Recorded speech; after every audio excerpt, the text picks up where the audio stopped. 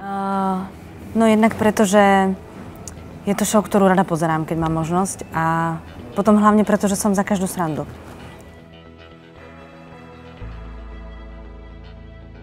No, uh, v princípe sa ma môže pýtať na úplne čokoľvek z mojej práce.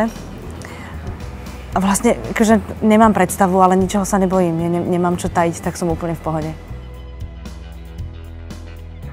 Či by som sa ja ho niečo opýtala, keby som mala možnosť?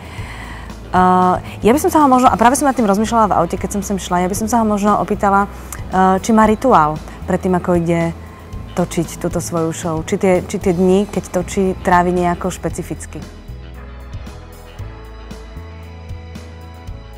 Teším sa veľmi. Teším sa veľmi, teším sa, ako keby som ja šla do divadla sa pozerať na nejaké predstavenie a nie ako keby som ja mala byť niečoho súčasťou.